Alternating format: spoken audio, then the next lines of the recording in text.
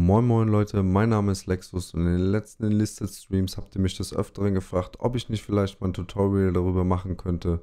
Genau das machen wir jetzt an dieser Stelle. Ich werde euch einmal den kompletten Menüaufbau zeigen, ich werde auf die Währung eingehen, auf den Premium Pass, Battle Pass, sowie auf einzelne Squads, die Verbesserungen, Equipment und ich werde euch ähm, die einzelnen Squads auf den Maps zeigen, wie ihr die am besten einsetzt.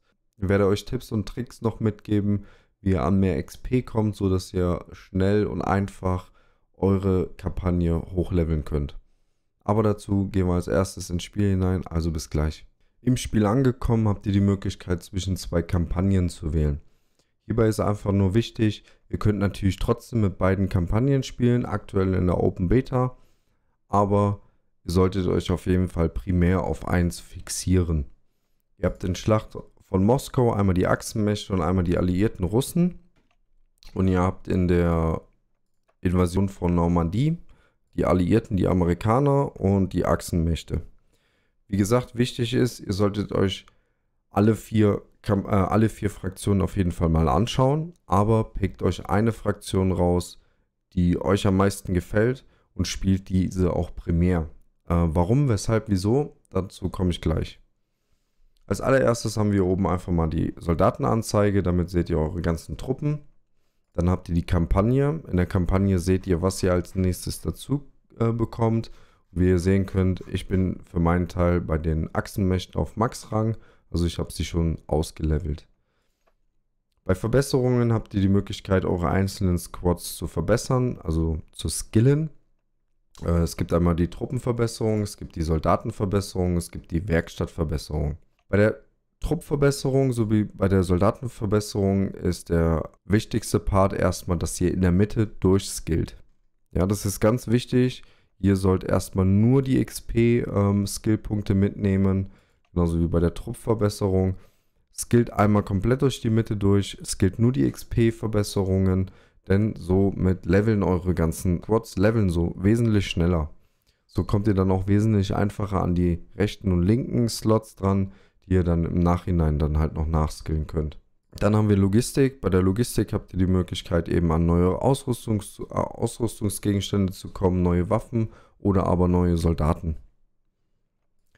Bei der Akademie habt ihr die Möglichkeit, ähm, Soldaten einzusetzen und diese wiederum zu verbessern. Also sprich, ihr setzt äh, beispielsweise in meinem Fall drei Soldaten auf Rang 2 ein.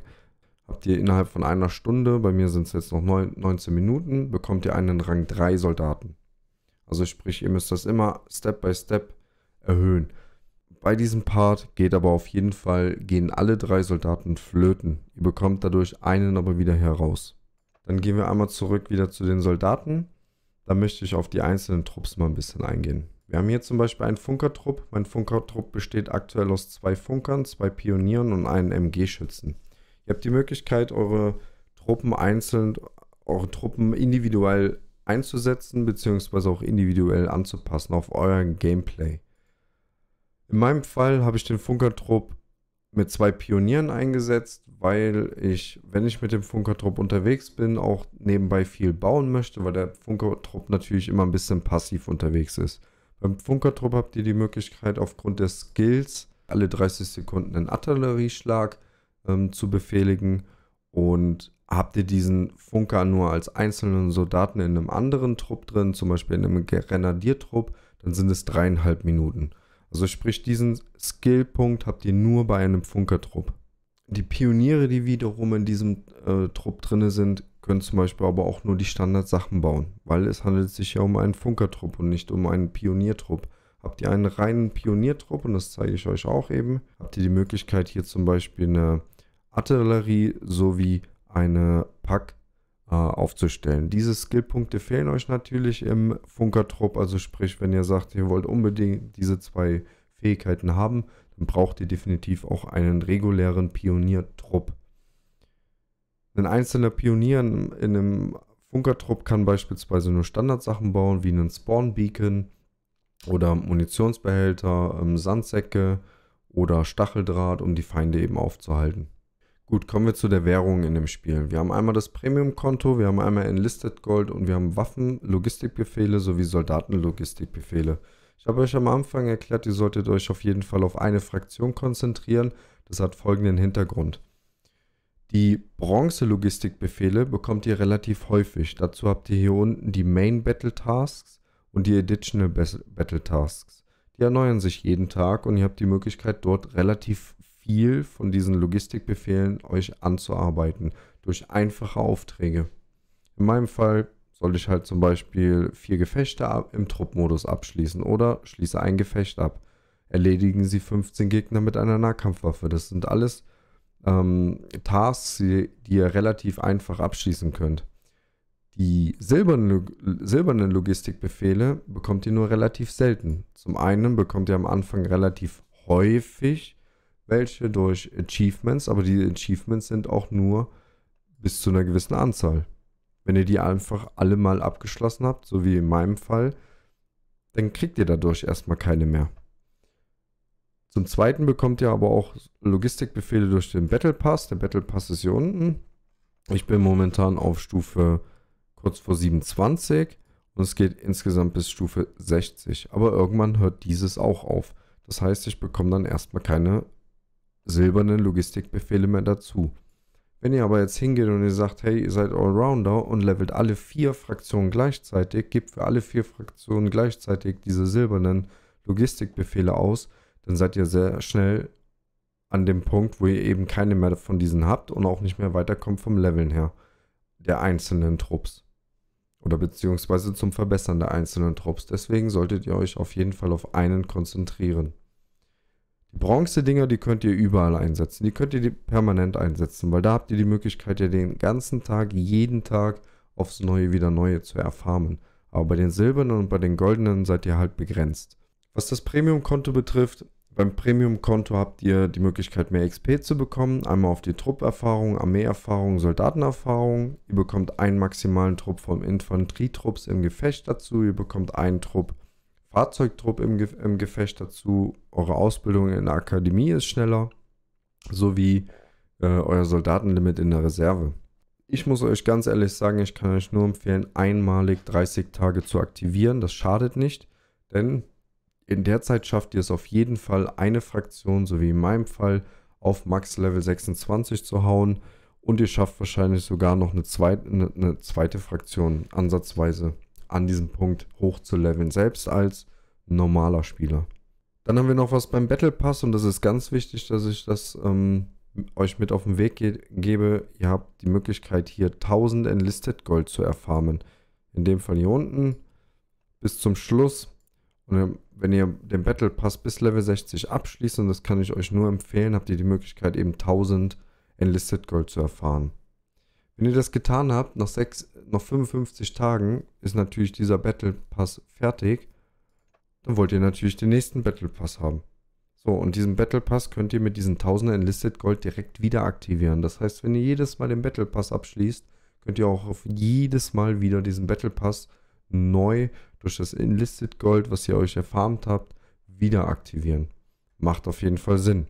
Premium-Konto, wie gesagt, einmal aktivieren, im, im, würde, ich als, ich als Empfehlung rausgeben, damit ihr ähm, eine Fraktion mindestens auf Level 26 bekommt. Ähm, diesen müsst ihr aber nicht unbedingt jedes Mal wieder neu ak aktivieren. Den Battle Pass aber auf jeden Fall. Warum nicht? Ihr habt die Möglichkeit, eure Soldaten bzw. Fahrzeugslots noch zu erhöhen. In meinem Fall habe ich das schon einmal gemacht bei der, bei der deutschen Fraktion. Und zwar habe ich die Möglichkeit, eben sieben Trupp, Trupps mit in, ins Gefecht zu nehmen. Ähm, beim ersten Mal hat es 450 Enlisted Gold gekostet, meine ich, meine ich. Und jetzt müsste ich halt 990 für den nächsten Slot kaufen. Wichtig hierbei ist, der zählt jetzt für die Alliierten und er zählt für die Achsenmächte auf dieser Kampagne. Das zählt aber nicht für die Moskauer Kampagne. Bei der Moskauer Kampagne müsste ich es nochmal bezahlen. Ach, 490 sind es. Also nicht 450, 490 Enlisted Gold. So, als nächstes möchte ich einmal auf die Perks eingehen und die Verbesserungen, die ihr an den einzelnen Soldaten vornehmen könnt. Nehmen wir jetzt einfach mal hier mein Festungsinfanterie-Regiment, noch nicht so weit gelevelt, das ist quasi der letzte Squad, den man sich in der Kampagne freispielen kann. Und da habe ich einfach einen ähm, MG-Trupp drin, einen MG-Schütze mit dem MG-42.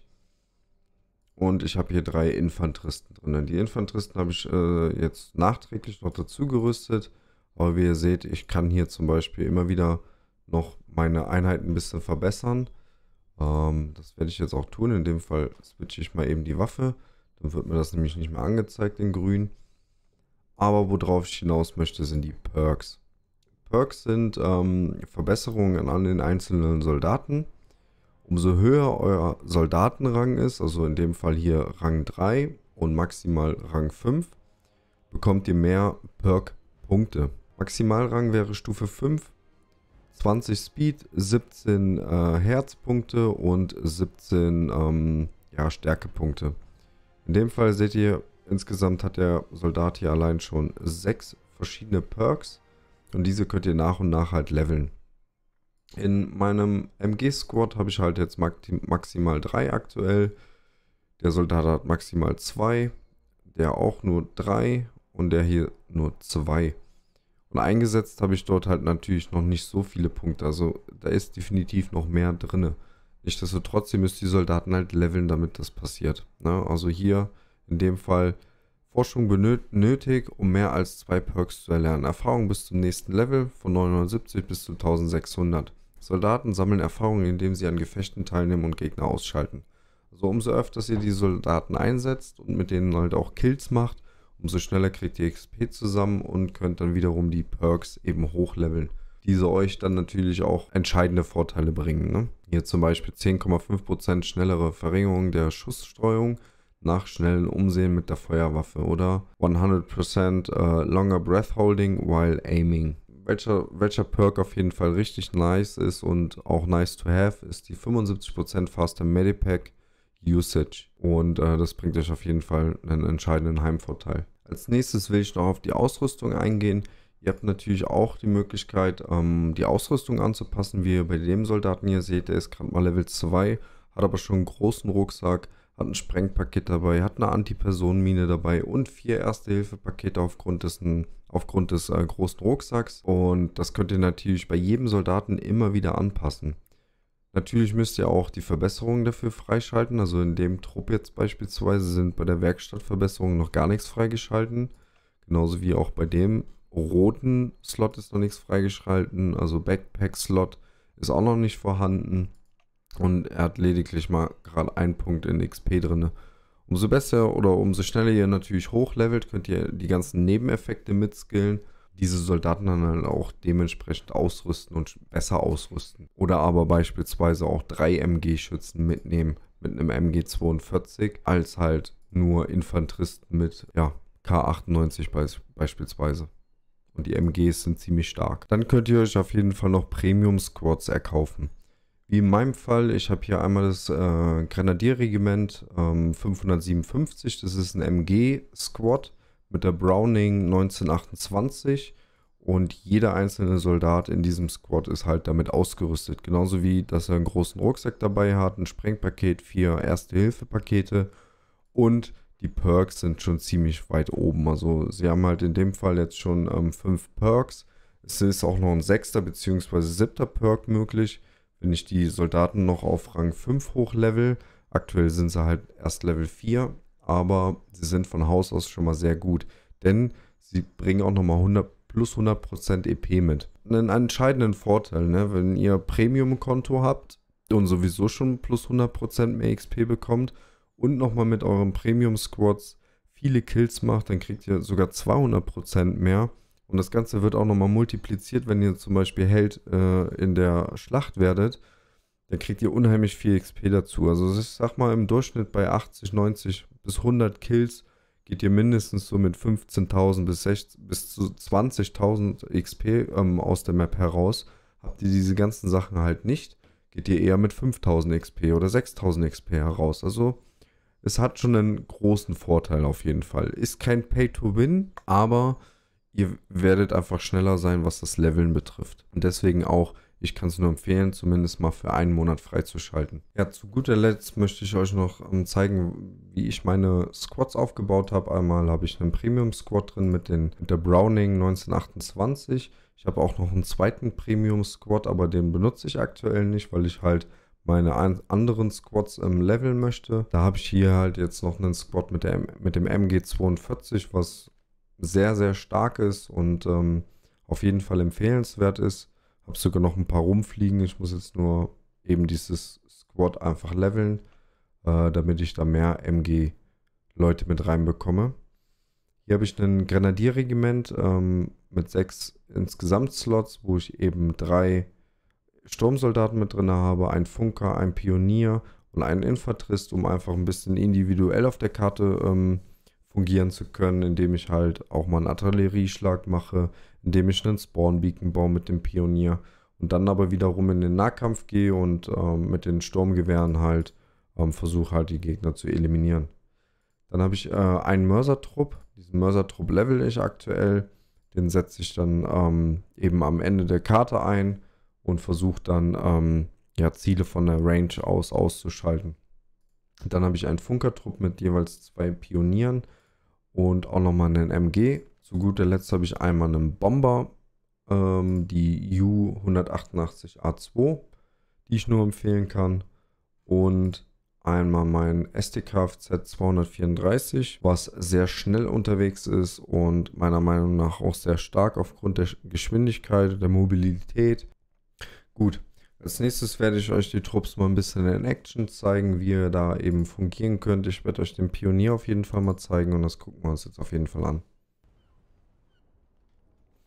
So, als erstes werde ich euch auf jeden Fall mal den ähm, Funkertrupp bei mir zeigen. Zum einen mit der 7 habt ihr die Möglichkeit eben Artillerieschläge hervorzurufen oder zu befehligen.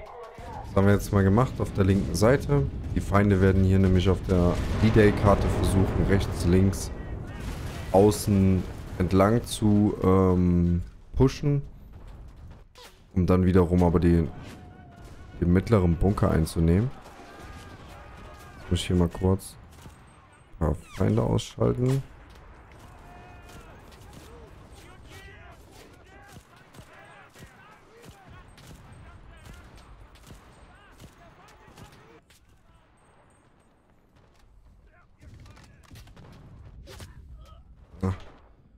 Mein ganzer Trupp wurde schon ausgesch ausgeschaltet. Ja, super.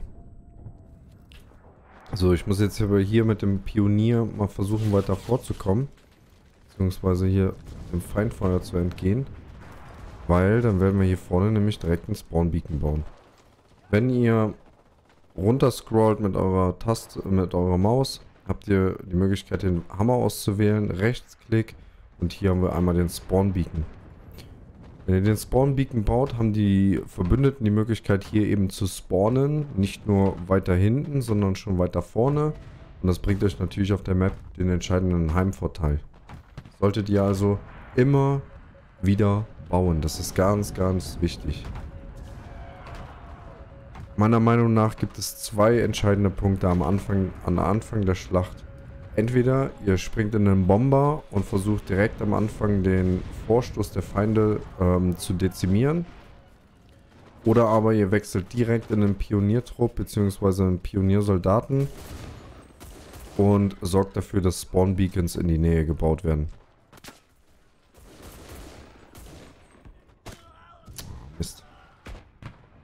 So, Spawn-Beacon ist aber gebaut. Jetzt haben wir die Möglichkeit hier eben zu spawnen. Das machen wir jetzt auch direkt. Und dann schalten wir die Leute, die nämlich hier links pushen wollen, direkt aus. Und das war das Ziel.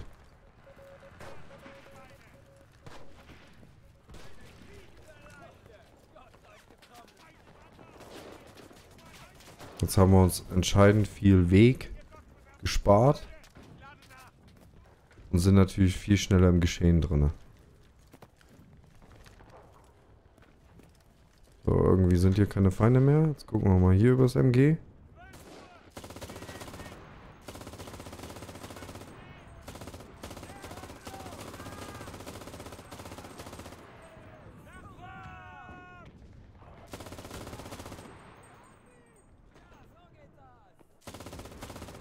Was macht der denn da?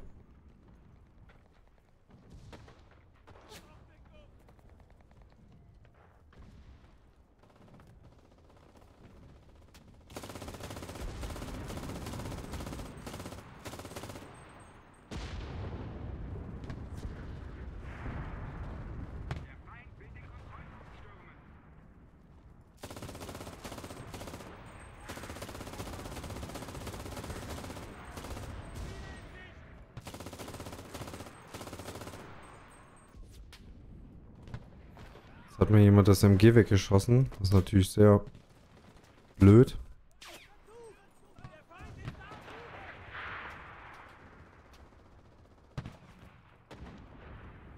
Aber das ist auf jeden Fall einer der wichtigen Punkte hier auf der Karte.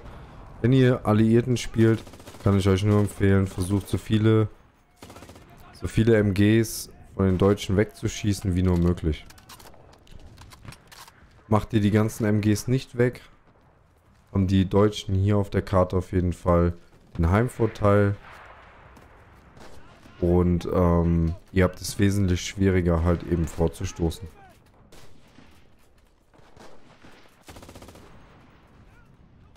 Aber dafür habe ich ja einen MG-Trupp, dass ich trotzdem noch einen MG habe.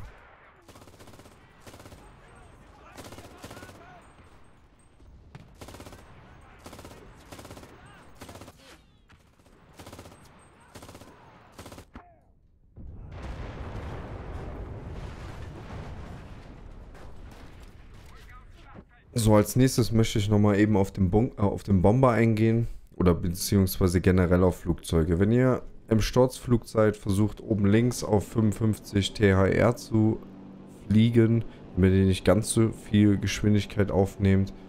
Wenn ihr dann eure Raketen oder Bomben loslasst, lasst sie los und wechselt direkt wieder nach oben.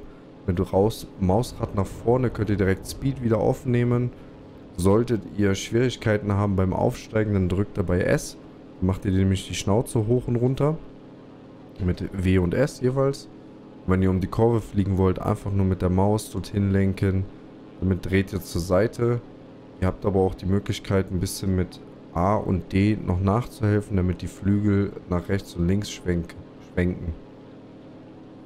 In meinem Fall braucht es jetzt hier aber auch nicht. Ihr könnt mit 1 und 2 eure Flaps noch ändern, also ähm, nochmal ein bisschen nachhelfen auf Combat, beziehungsweise Takeoff und Landing. In meinem Fall nehme ich jetzt äh, Combat und fliege halt erstmal zum Munitionspunkt. Ja, beim Munitionspunkt dort hinten bekommt ihr neue ähm, Bomben in meinem Fall. Ich bin ja jetzt in einem Bomber unterwegs. Wenn ihr jetzt ähm, ein anderes Flugzeug habt mit MGs bzw. Raketen dran, dann bekommt ihr diese dort halt eben auch.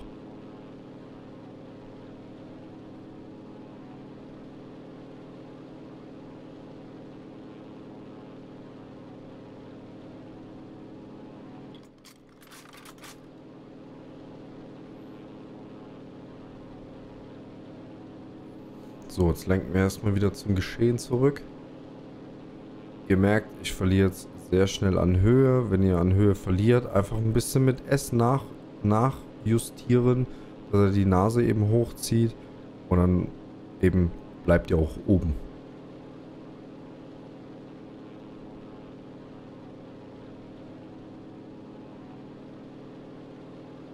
So, ich werde jetzt eben schauen, dass ich ein bisschen seitlich in die in den Strand reinfliege, um eventuell doch ein paar mehr Soldaten zu erwischen.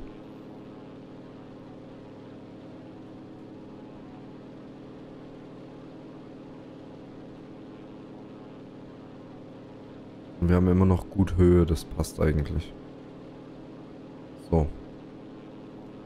Ich gehe runter vom Speed. Und hau die ersten Bomben raus und ziehe direkt wieder hoch. Ja, leider haben wir nur einen Soldaten getroffen. Schade. Es waren nirgendwo Pings zu sehen. Und das ist direkt schon wieder der nächste Tipp, den ich euch geben kann. Pingen. Sobald ihr irgendwelche Soldaten seht, sobald ihr irgendwelchen Panzer seht, ähm, geht hin und pingt eure ähm, pingt diese ähm, gegnerischen Soldaten an, sodass die Luftunterstützung mitarbeiten kann. Genauso wie Artillerie oder aber Mörser oder aber andere äh, befreundete Panzer. Ohne diese Pings sind die meistens komplett aufgeschmissen. So wie ich jetzt in meinem Fall, ich habe nichts sehen können. Die Soldaten sind so klein, das sieht man aus dem Flugzeug heraus nicht. Und das ist super wichtig. So, standardgemäß ist euer Ping auf der V-Taste. Sobald ihr irgendwelche feindlichen Gegner seht, wie gesagt, einfach V-Taste spammen oder aber macht es ganz clever. Ihr habt die Möglichkeit, diesen Ping auch gleichzeitig auf euer auf eure Maus zu legen, genau da, wo ihr auch äh, abfeuert. Wie ihr das jetzt bei mir seht, ich habe hier direkt drei Pings vor mir gemacht, automatisch nur, weil ich geschossen habe. Und das könnt ihr natürlich auch machen. Das spammt zwar ein bisschen den äh, Bereich zu mit Pings, ist aber nicht schlimm. Um, lieber ein paar mehr Pings als gar keine Pings. Na, das ist super wichtig. So weiß jetzt direkt, ey, da, da, da geht zum Beispiel die Action, die Luftunterstützung weiß direkt, hey mal, da ist irgendwas. Könnte ich ja mal was hinschmeißen. Vielleicht ist mein äh, Verbündeter, ja, vielleicht schafft er es nicht, gegen die anzukommen. Und dann schmeiße ich da lieber mal eine Bombe hin und dann ist dort einfach alles weg.